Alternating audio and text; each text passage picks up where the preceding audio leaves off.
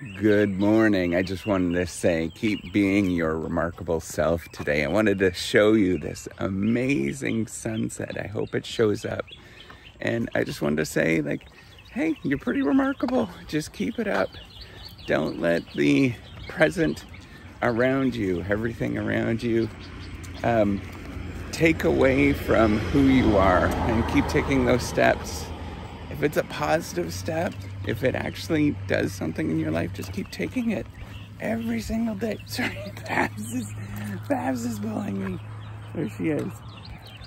Just keep taking those steps every day and you'll actually get there. It's a slow and steady process. You gotta remember that every day.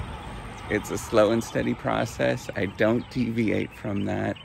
Nothing in this world that's meaningful, that actually matters, is quick. It's always super slow. Think about everything, and it was my arm because of Babs.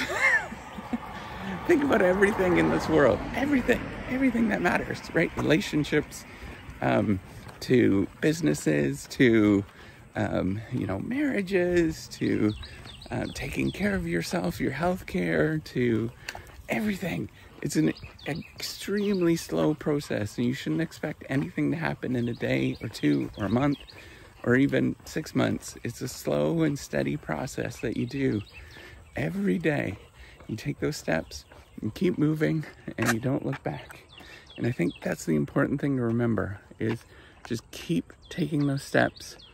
And remember when you're doing it, you're not silly, you're not wrong, you're not um, off the mark, anything like that. You're remarkable.